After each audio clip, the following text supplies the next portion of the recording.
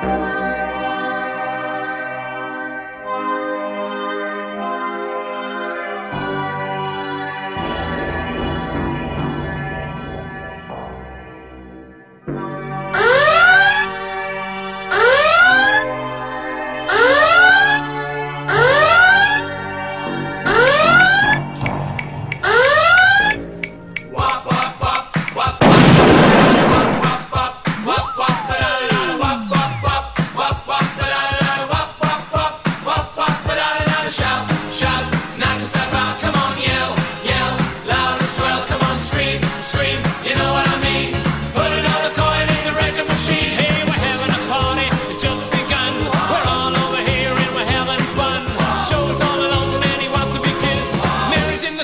she's doing